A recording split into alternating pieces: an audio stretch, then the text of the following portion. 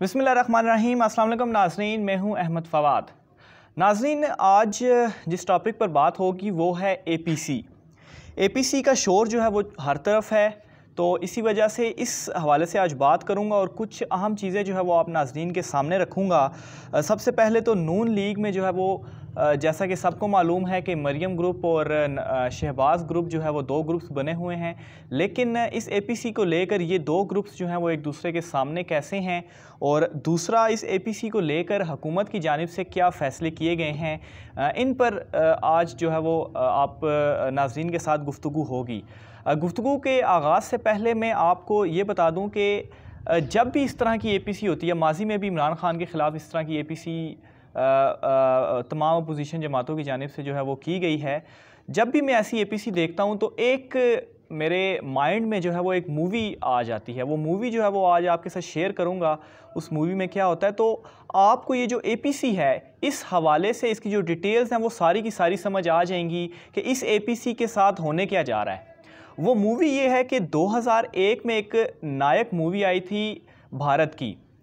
उस मूवी में अनिल कपूर जो है वो हीरो के तौर पर थे, जबकि अमरीश पुरी जो है वो उसमें विलन थे। अनिल कपूर एक नॉर्मल से रिपोर्टर होते हैं, जबकि अमरीश पुरी जो है वो सीएम होते हैं।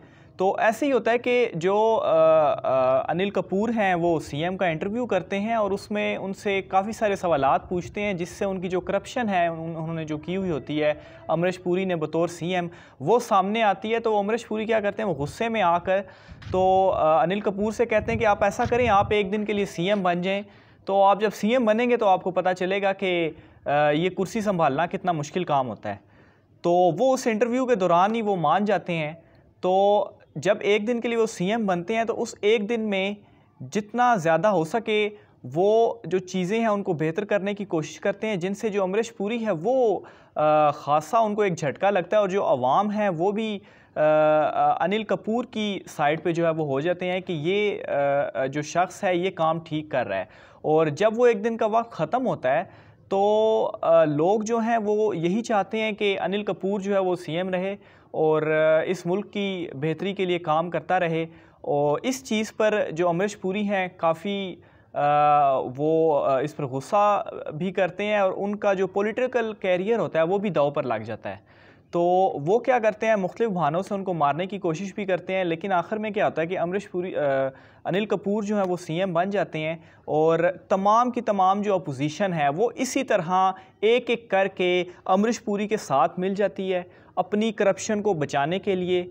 लेकिन आखिर में क्या होता है कि अमरीश पुरी जो है वो मार जाते हैं और जो तमाम करप्शन है अपोजिशन की वो सामने आ जाती है और इस एपीसी के साथ भी यही होने जा रहा है। कि ये जितनी मर्ज़ी ए पी सीज़ कर लें, इनमें इतफ़ाक़ जो है वो पैदा ही नहीं हो सकता। और इसकी मैं आपके सामने दलील भी रखता हूँ। दलील ये है कि सैनट के इंतबात आप सब तमाम नाजरीन के सामने हैं। सेनेट में क्या हुआ? अक्सरियत अपोजिशन की थी, लेकिन उसके बावजूद चेयरमैन सेनेट जो है वो हुकूमत ने अपना मंतखब करवा लिया। अब वहाँ पर गिला ये किया गया कि जो चूँकि वो सीक्रेट बैलेट के ज़रिए इलेक्शन होते हैं तो अपोजिशन कहती है कि जी वो हमें मालूम ही नहीं है, वो लोग कौन है? तो उन्होंने शोर शुरू कर दिया कि सीक्रेट बैलेट के ज़रिए इलेक्शन ना किए जाएँ। अच्छा अब गुज्त दिनों जो है वो जॉइंट सेशन किया गया पार्लियामेंट का, जिसमें दो बिल जो है वो पास हुए। तो उसमें भी ऐसा ही हुआ, अपोजिशन के चौंतीस के छत्तीस अरकान जो थे, वो आई नहीं असम्बली में। अब वहाँ पर तो कोई सीक्रेट बैलेट नहीं था। वहाँ पर वो जो छत्तीस या चौंतीस अरकान थे, उनकी निशानदेही की जा सकती थी।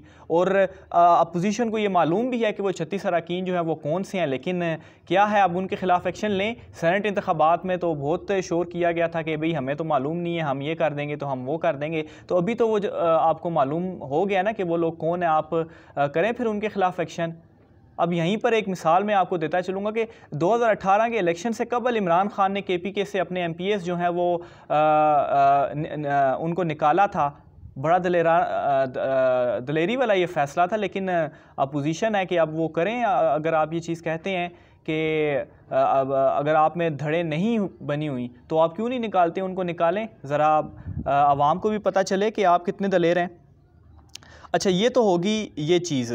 दूसरा आ, मैं आपके साथ ए पी सी के हवाले से एक वीडियो भी की है इमरान खान जो हमारे जी एन एन न्यूज़ के एंकर्स हैं उसमें भी उन्होंने काफ़ी डिटेल्स बताई हैं। उसमें से कुछ जो चीज़ें हैं वो भी मैं भी आपके साथ शेयर करूँगा। उसमें से सबसे पहली चीज़ तो ये है कि मरियम और शहबाज शरीफ जो हैं वो आपस में किस तरह से जैसे कि मैंने वीडियो के शुरू में भी आपको बताया था कि ये चीज़ मैंने आपके साथ शेयर करनी है।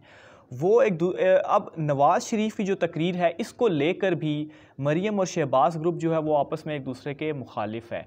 मरीम ग्रुप ये चाह रहा है कि, ये कहता है कि शहबा नवाज़ शरीफ की तकरीर होनी चाहिए, जो कि फ़ैसला भी हुआ कि वो तकरीर करेंगे, जबकि शहबाज ग्रुप का ये था कि जी वो तकरीर ना करें। इसकी वजूहत वो क्या बताते हैं जी? इसकी वजूहत वो ये बताते हैं जी कि इससे जो है वो बड़ा नेगेटिव पहलू जाएगा।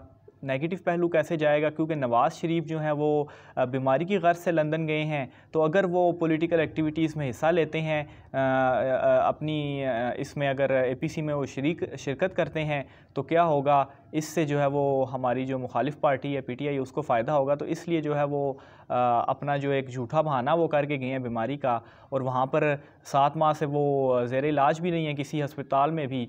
तो ये भांडा फूट जाएगा तो इसलिए ऐसा करने की ज़रूरत नहीं है। जबकि दूसरी जानब, जो मरीम नवाज़ ग्रुप है, वो ये चाह रहा है कि वो तकरीर करें और वो ये कहते हैं कि वीडियो लिंक के ज़रिए तकरीर करें और पूरी ए पी सी में शिरकत नहीं वो करेंगे, सिर्फ़ जब उनका ख़िताब होगा तो वो थोड़ी देर के लिए ख़िताब करेंगे और उसके बाद वो चले जाएँगे। इससे क्या होगा कि इससे जो हमारी ए पी सी है, वो मज़ीद मज़बूत होगी। बहरहाल ये ये दोनों के आपस में अख्लाफ़ात थे दोनों धड़े एक दफ़ा फिर आमने सामने आए, लेकिन आखिर में मरीम नवाज़ का जो धड़ा था वही जीता और फ़ैसला यही हुआ कि नवाज़ शरीफ जो है वो ए पी सी में वीडियो लिंक के ज़रिए ख़िताब करेंगे और बाद में भी इस पर डिवेलपमेंट्स हुई हैं कि आसिफ जरदारी जो हैं वो भी वीडियो लिंक के ज़रिए जो है वो ए पी सी से ख़िताब करेंगे।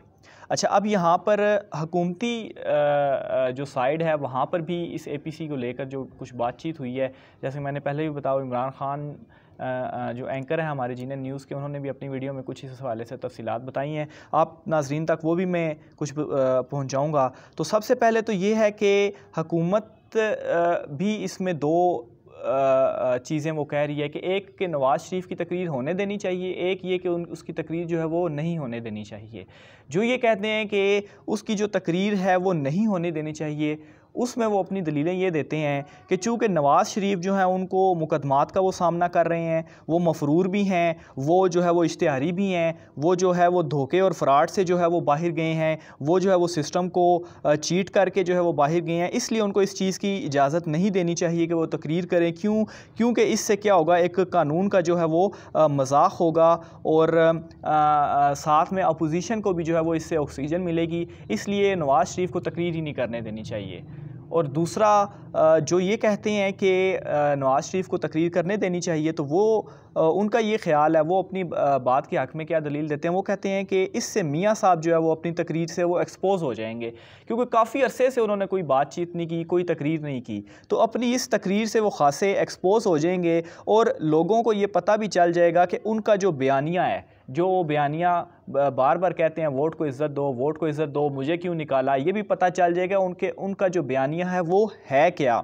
ये और नवाज़ शरीफ जब तकरीर करेंगे तो अगर वो तकरीर उससे वाज हो जाएगा कि वो किस तरफ़ उन, उनका बयानिया क्या वो भी पता चल जाएगा कि अगर अपनी वो तकरीर में इदारों के ख़िलाफ़ तकरीर करते हैं तो वो फिर से उनके ख़िलाफ़ एक चीज़ उठ जाएगी कि वो इदारों की रिस्पेक्ट नहीं करते हैं, इदारों को जो है वो उनके ख़िलाफ़ बातचीत करते हैं तो ये उनके ख़िलाफ़ एक नेगेटिव पॉइंट जाएगा। और अगर वो इदारों के ख़िलाफ़ बात नहीं करते और ख़ाली अपनी तकरीर में इमरान ख़ान के ख़िलाफ़ बात करते हैं, उनको क्रिटिसाइज़ करते हैं तो इससे भी एक नेगेटिव पहलू उनकी तरफ़ जाएगा कि वो अब इमरान ख़ान के ख़िलाफ़ तकरीर कर रहे हैं तो उनका बयानिया जो है वो कहाँ पर गया है? वो जो कहा करते थे कि जी वोट को इज़्ज़त दो, और दूसरा ये होगा कि उनकी जो बीमारी है उसका भांडा भी फूट जाएगा। वैसे तो पहले से ही पता है कि वो बीमार किस तरीके से वो चीट करके जो है वो बाहर गए हैं और मफरूर भी हैं और इश्तहारी भी हैं। तो अब जब वो तकरीर करेंगे तो इससे एक और नेगेटिव पॉइंट उनकी तरफ़ ये जाएगा कि देखें जी कि ये तो आ, कहते हैं जी कि हम बीमार हैं लेकिन ये है कि पॉलिटिकल एक्टिविटीज़ में जो है वो हिस्सा भी ले रहे हैं और तकरीरें भी जो है वो कर रहे हैं। तो इससे जो काफ़ी सवाल हैं वो आ, खड़े हो जाएँगे लोगों के जहनों में और इसका जो है वो काफ़ी जो है वो फ़ायदा भी होगा। तो ये दो हुकूमत की जानब से भी जो है वो पॉइंट्स हैं। अच्छा अब एक और चीज़ पे भी मैं यहाँ पर बात करूँगा कि जो अगर ये जो ए पी सी है इसमें मतव फ़ैसले क्या हो सकते हैं। सबसे पहले तो शाकिर सुलंगी साहब हमारे रिपोर्टर हैं, उनकी एक वीडियो में भी उन्होंने इस तरह का ज़िक्र किया। सदीक जान साहब हैं, उन्होंने भी अपनी वीडियो में ये ज़िक्र भी किया है। वो भी मैं आपको कुछ चीज़ें, कुछ पॉइंट्स हैं वो आपके साथ शेयर करता हूँ। तो जो तीन चीज़ें सामने आई हैं कि एपीसी अपनी इस ए पी सी में जो क्या होने जा रहा है? तो सबसे पहला तो ये है जी कि वो अदम अतमाद की तहरीक लेकर अदम अतमाद की जो तहरीक है, वो लाएँगे और वो किन के ख़िलाफ़ लेकर आएँगे? सबसे पहले तो लेकर आएँगे जी कि असद कैसर के ख़िलाफ़ और उसमें वो क्या कहते हैं कि असद कैसर ने जो गिनती थी जॉइंट सेशन में वो सही नहीं करवाई, हालाँकि ऐसा कुछ भी नहीं था तो इसलिए उनके ख़िलाफ़ अदम अतमाद की तहरीक लेकर आएँगे। दूसरा पी एम इमरान खान के ख़िलाफ़ लेकर आएँगे और तीसरा ये है कि जी उस्मान बुजदार के ख़िलाफ़ हम लेकर आएँगे अदम अतमाद की तहरीक और इनको हटाएँगे। हालाँकि आप एक जो बिल है वो तो आप रुकवा नहीं सकते पार्लियामेंट से तो इनके ख़िलाफ़ अदम अतमाद की तहरीक कैसे लेकर आएँगे? आपके वोट ज़्यादा होने के बावजूद आप चेयरमैन सेनेट अपना नहीं बनवा सके। इसके अलावा आपके छत्तीस से चौंतीस अरकान जो हैं, वो असम्बली में नहीं आते और आप उनके ख़िलाफ़ अभी तक आपने कोई एक्शन भी नहीं लिया। आप नारा तो ये लगाते रहे सेनेट इलेक्शन में कि हमें वो सीक्रेट बैलेट था तो हमें मालूम नहीं है तो हमें मालूम नहीं है। लेकिन यहाँ पर तो आपको मालूम है कि वो कौन लोग हैं तो उनके ख़िलाफ़ आप एक्शन लें। अच्छा अब इसके अलावा अब वाकई अगर ये ए पी सी को अगर कामयाब बनाना चाहते हैं ठीक है आखिर में मैं ये भी बात करता हूँ और ये वाकई ऐसा है कि ये चाहते हैं कि ए, हम जो है वो आवाम को आवाम का गरीब आवाम का अगर इनको बहुत ज़्यादा ख्याल है तो ये किन चीज़ों के ऊपर बात करें जो इनकी ए पी सी कामयाब हो सकती है? सबसे पहले तो फिर ये दें नवाज़ शरीफ साहब जो हैं वो वापस आ जाएँ। अदालती मफरूर भी हैं इश्तहारी भी हैं तो वापस आ जाएँ। वापस क्यों नहीं आ रहे? वापस आ जाएँ ताकि इससे तो थोड़ा सा पता चले कि वो मुल्क से कितनी मोहब्बत करते हैं, वो आवाम के साथ हैं। साथ में अगर ये इतना ही आवाम के साथ इनको प्यार है और गरीब आवाम का ख्याल है तो पीसी में बात करें ना बेरोज़गारी के हवाले से या महँगाई के हवाले से, उसमें ये पॉइंट्स लेकर आएँ कि देखें आपकी हुकूमत में इतने इतने महँगाई हो चुकी है तो हमारी ए पी सी के ये पॉइंट्स हैं, ये लें, हुकूमत के सामने रखें और दूसरा देखें पेट्रोल की कीमतें कितनी बढ़ चुकी हैं तो ये सारी चीज़ें उनके सामने रखें। लेकिन ये है कि इन्होंने ए पी सी का जो मकसद है, वही यही है कि जो चोरी है, वो बचानी है, जो करप्शन है, उसको बचानी है, बचाना है तो इसलिए इन्होंने अदम अतमाद की तहरीकें ही लेकर आनी है, इस्तीफ़े ही मांगने हैं और कुछ भी नहीं करना। नाजिन आज की वीडियो में इतना ही। आइंदा वीडियो में फिर मिलेंगे। अल्लाह हाफिज़।